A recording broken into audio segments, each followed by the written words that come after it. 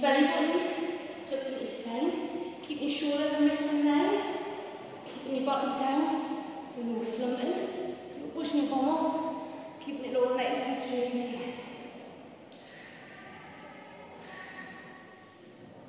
Breathe out.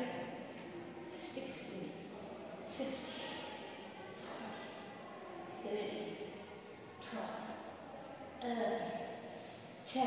If you feel good, lift the leg. seven, six, five, change legs, four, and three, and two,